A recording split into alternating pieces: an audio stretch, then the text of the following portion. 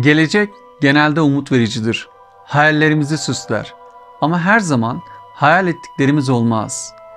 Bilim ilerledikçe insanoğlunun birçok sorunu çözeceği ve bilinmeyen birçok gizemini ortaya çıkaracağı beklenir. Ya bilim ilerledikçe her zaman daha iyi sonuçlar yerine olumsuz, kötü yaşam koşulları meydana getirirse, hatta insanoğlunun sonunu getirirse diye hiç düşündük mü? İşte yazarımız Aldous Huxley'nin bu Cesur Yeni Dünya adlı eserinde bilim ve teknolojinin olası olumsuz etkileriyle bunların toplumsal değerlerle çelişkisi ve çatışmasını inceleyeceğiz. Bu kitap 1932 yılında yazılmış 26. yüzyıl İngiltere'sinin Londra kentinde gerçekleşmesi beklenen olayları kaleme almıştır. Şimdi kısaca kitaba bir göz atalım. Bu kitapta bilim o kadar çok ilerlemiştir ki yaşlılığa hatta ölüme bile çare bulmuştur. Bahsedilen toplumda aşka, aileye ve dine ihtiyaç yoktur. Bunların her biri ortadan kaldırılmıştır. Bu toplumda insanlar normal doğum yoluyla dünyaya gelmemektelerdir. İnsanlar kuluçka makinelerinde dünyaya gelmektedirler. Bunu sağlayan yer ise Londra üretim yuvası ve şartlandırma merkezidir. Bu merkeze insanlar yumurtalarını bağışlarlar ve bilim adamları da bu yumurtalar üzerinde işlemler geçirerek insanları meydana getirirler. Bunu da şu şekilde yaparlar. Devletin ihtiyaç duyduğu bireyler ölçüsünde üretim sağlarlar. Yani devlet tabir caizse bugün 250 tane geri zekalı ihtiyaç duyuyorsa onun üretimi sağlanır. Ve bu toplumda 5 farklı sınıf vardır. Alfa, beta, gamma, delta ve epsilonlandır. En zeki olanlar alfa ve betalardır. Kitapta bahsedildiği gibi en ahmak ve zeka düzeyi en düşük olanlar ise epsilon ile gamalardır. Ve bunların her birinin bir rengi vardır. Ve bunlar doğduktan sonra bir takım şartlanmalara tabi tutulurlar. Yani doğmadan önce üzerinde bir takım işlemler yaptık mı? Evet. Sıcak bölgesinde çalışacak bireyleri belirledik. Soğuk bölgede çalışacak bireyleri belirledik. Aynı zamanda boyu uzun mu olacak, kısa mı olacak onu belirledik. Zeka düzeylerini de belirledik ve en alt gruptan daha fazla ürettik. Şimdi çocuklar doğduktan sonra yapmamız gereken şey onların sosyal sınıflarına uygun olarak kategorilendirmek ve şartlandırmaktır. Eğitimleri başlıyor. Yani çocuklar uykularında bile şartlandırılıyorlar. İlk şartlandırma kitaplara karşı oluyor. Çünkü kitap okumak insanların düşünmelerini sağlar. Düşünen, sorgulayan bireyde sosyal sistem için sorun oluşturabilir. O yüzden kitapları ve çiçekleri bir yere koyuyorlar. Çocukların onlara yaklaşmalarını istiyorlar. Çocuklar yaklaşınca da ya da bebekler yaklaşınca da onlara elektrik şoku veriyorlar. Ve defalarca bu deneyi gerçekleştirerek bireylerin kitaplardan ve çiçeklerden nefret etmelerini sağlıyorlar. Şimdi kitaplardan neden nefret ettiklerini anladık. Peki çiçeklerden niye nefret ediyorlar? Bunda daha önceki deneyimlerinden kaynaklandığını söylüyorlar. Daha önce doğaları, doğayı sevmeleri istenmiş ancak insanlar iş yerlerini bırakarak doğada gezmeye çıkmışlar. Yani fabrikalar çalışamaz duruma gelmiş, bireyler kırlarda gezmeye çıkmışlar. Dolayısıyla bunun olmaması için, tekrar böyle bir üretim hatasının olmaması için doğaya karşı da olumsuz şartlanma meydana getiriyorlar. Peki sadece bununla mı yetiniyorlar? Hayır. Uy- uykunuzda dahi sizi rahat bırakmıyorlar. Nasıl yapıyorlar? Şöyle. Siz uyurken e, sizin bilinçaltınıza yerleşmesi için şu şarkılar söylenir. Biz mutluyuz, biz huzurluyuz ve sosyal sınıfınız hangisi ise onunla ilgili şarkılar söyleniyor. Çünkü her sosyal sınıfın bir rengi vardır. Örneğin biz deltayız, biz sarı giyeriz, biz çok mutluyuz şarkısını küçüklüklerinden belli e, beri söylerler. Bu devletin üç temel argümanı vardır. Toplumcu, özdeşçi ve dengecidir. Toplumcuyla kastedilen devlete hizmet etmek, özdeşçiyle kastedilen aynılaşmak ki her sosyal sınıf aynı kıyafetleri giyer, dengeciyle kastedilen şey ise itaat etmektir. Ve toplum için genelde söylenen şey şudur. Toplum her şey, birey ise hiçbir şeydir. Herkes herkese sahiplik yapar. Tarih boş bir şeydir. Çünkü tarihi bilirseniz, geçmişinizi bilirseniz ve okumaya başlarsanız dolayısıyla bu devlet için tehlike arz edersiniz. Ve bu devlette mutsuzluk yoktur. Çünkü mutluluğun formülü bulmuşlardır. Soma denilen bir ilaç vardır. Tablet şeklinde ya da sıvı şeklindedir. Onu aldığınızda ne derdiniz ne sorunuz varsa anında bitiverir. Depresyona veya diğer olumsuz psikolojik vakalara burada yeri yoktur. Somay al, derdin kurtulsun. Ve bütün insanlar bunun için çalışırlar ve her akşam somalarını alırlar. Aynı zamanda soma onları uyuşturur. Mutluluk verdiği gibi onların düşünmelerini de engeller aslında. Aynı zamanda bu devlette bireylerin yalnız kalmamalarını, birlikte hareket etmeleri sağlanır. Çünkü yalnız kalan insanın düşünme riski söz konusudur. Kitabımızda iki farklı dünyadan bahsedilmektedir. Bir, kurtarılmış bölge, bir de ise ilkel kalan kurtarılmamış bölgedir. Kurtarılmış bölge cesur yeni dünyadır ve bu dünyanın sınırları 50 binlik voltla çevrilmiştir. Dokunduğunuz anda ölürsünüz. Karşıya geçmeniz mümkün değildir. Yani biri modern toplumdur, bir de ilkel toplumdur. Aslında ilkel olarak kastettiği toplum biziz. Neden biziz?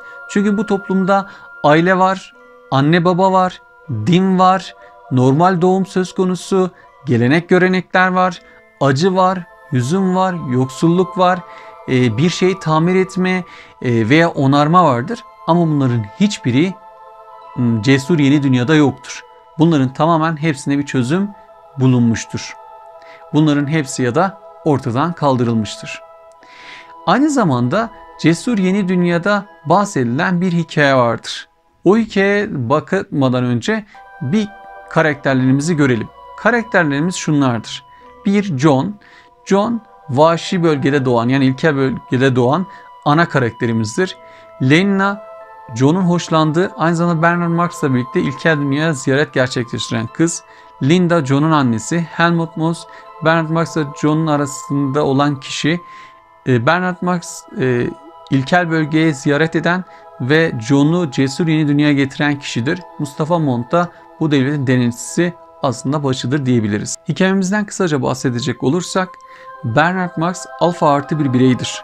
Psikologtur.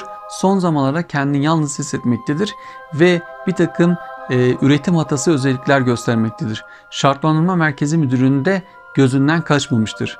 Bernard Marx yıllık izni kullanarak tatil yapmak istemekte ve bunu e, hoşlandığı kız olan Lena ifade ediyor. Lena da süper bir fikir olur diyor. E, dolayısıyla şartlanma merkezinde çalışan Bernard Marx müdürden izin almaya gidiyor ve müdür de en azından kısa sürede gözümün önünde olmaz gelince icabına bakarım diyerek izin veriyor. Ancak giderken de ona bir takım tavsiyelerde bulunuyor. Diyor ki ben de daha önce gençken orayı ziyaret ettim. Başıma olumsuz bir takım olaylar geldi. Orada dikkatli olmalısın diyor. Bernard Marx ile Lenina helikoptere binerek e, rezervasyon yani ilkel bölgeye doğru yolculuk ediyorlar. Orada oraları gezerken çok ilginç bir ritüele denk geliyorlar. Dinsel bir tören ve orada kırbaçlanan bir birey görüyorlar. E, buna Leyna çok fazla korkuyor. Oradakiler korkmamaları gerektiğini, bunun dini bir ritüel olduğunu, bunu günahlarının karşısında kırbaçlandığını söyler. Ancak kırbaçlanan birey diğerlerinden farklı özellikler göstermektedir. Bernard Marx alfa artı bir birey olduğu için, zeki bir birey olduğu için bunu kavrayabiliyor. Onunla sohbet ettiğinde aslında onun buralı olmadığını, annesinin cesur yeni dünyadan olduğunu e, ve şartlanma merkezinin bahsettiği o kaybolan kızdan doğan bir çocuk olduğunu anlıyor ve annesini görmeye gidiyorlar. Annesini görünce çok şaşırıyorlar. Çünkü annesi hiç cesur yeni dünyadakilere benzemiyor. Yaşlanmış, kilo almış, çok çirkinleşmiş bir birey olduğunu görüyorlar. Ve buradaki John, e, Vahşi dediğimiz ana karakterimiz okuma yazma bilen, okuyan, düşünen, sorgulayan bir ve Bernard Marx şartlanma merkezi müdürünü zor durumda bırakmak için e, Linda ve John'u Cesur Yeni Dünya'ya götürmeye karar veriyor. Gerekli izinleri aldıktan sonra buraya getiriyor. Şartlama merkezine geldiğinde e, müdüre sana bir sürprizim var diyor. O esnada John ve annesi koşarak e, şartlanma merkezi müdürüne sarılıyorlar ve şartlanma merkezi müdürüne baba baba diye bağırıyor. Herkes şok içinde e, inanılmaz bir şok. Çünkü baba kavramı yok inanılmaz utanç verici bir durum. E, herkes nasıl olur böyle bir şey derken e, şartlanma merkezi müdürü utanç içerisinde orayı terk ediyor e, ve istifa etmek zorunda kalıyor böyle bir şey neden olduğu için. John hayal kırıklığına uğruyor. E, Tabi Linda ama gelmekten çok mutlu çünkü hemen Soma oluyor e, ve Soma'nın ne kadar inanılmaz e, güzel bir şey olduğunu, ne kadar çok özlediğini ifade ediyor. E, Bernard Marx e, John'u getirdiği için bu durumdan dolayı çok ünlü, popüler biri oluyor. E, insanlar John'u tanımak istiyor. Onun için de Bernard Marx'a yanaşmak istiyorlar ve Bernard Marx tüm partilerin ana kahramanı oluyor. John bu durumdan çok sıkılıyor aslında. Burayı çok fazla e, benimsemiyor ama Leyna'dan hoşlanıyor. Ona aşık oluyor. Aşkını ifade etmek istiyor. Ve Mecnun'un Leyla için dağları delmesi gibi o da diyor ki ben senin aşkın için aslanları öldürür ve postunu ayaklarına sererim diyor. Ama Lena bunu anlamıyor. Neden böyle bir şey söylüyor? Bunlara ne gerek var? Çünkü burada herkes herkese sahiplik yapar. E, aşk yoktur, duygusallık yoktur, bedensellik söz konusudur. Hmm, Lena bunu düşünürken John sinirleniyor. John kendisini anlamadığı için buna e, kızıyor ve e, kendisini dövüyor. Kısa bir süre sonra e, John'un annesi rahatsızlanıyor ve Parkline Hastanesi'ne kaldırılıyor. 60 katlı çok temiz, e, ferah bir hastane. Hiçbir ziyaretçisi olmayan hastanedir. Burada herkes gençtir ama iç organları yaşlıdır. Aslında yaşlıya da çare bulunmuştur. Şu an devletin işine gelmediği için bunu insanlara bildirmiyor ve gerekeni yapmıyordur. Ee, burada çocuklar var. Çocuklar ölüme şartlandırılıyorlar. Yani ölümün sıradan bir şey olduğunu, üzülecek bir şey olmadığını gösteriyorlar. John çok üzülüyor. Bunun hemşireler gelip bir şeyiniz mi var, hasta mısınız diye kendisini soruyor. E, çünkü şu ana kadar böyle bir durum e, görmemişlerdir. Ve John'un annesi vefat ediyor. John çok üzülüyor, ağlıyor. Orada oynayan çocukları hemen dışarı kovuyor ve dışarı çıktığında bir bakıyor ki hemşireler e, vakitleri dolmuş ve somalarını almak için sıraya girmişler. John onlara çok kızıyor. Siz adamlık nedir bilmez misiniz? Ben sizi özgür kılacağım. Bu sizin özgürlüğünüzü elinizden alıyor diyerek somaları bir bir atıyor. O esnada varoluşlarının sebebi sadece soma olan bu bireyler e, çok sinirleniyorlar ve John'a saldırıyorlar. E, John'a da Watson e, yardım ediyor. Polisler müdahale etmezlerse e, neredeyse linç edilecek bir haldeymiş John. E, John'u elinden kurtarıyor polisler. Çok ilginçtir ki polisler müdahale ederken şöyle bir durum yaşanıyor. Bir polisin elinde radyo. Radyoda hepimiz mutluyuz, hepimiz Delta'yız şarkı söyleniyor. Bir de havaya sıkılan e, gaz var. Bu da soma yani sıvı gaz. Herkes çok relax, çok mutlu bir şekilde uzanıp kalıyor ve John'u ellerinden alıp denetçiye yani Mustafa Mont'a getiriyorlar.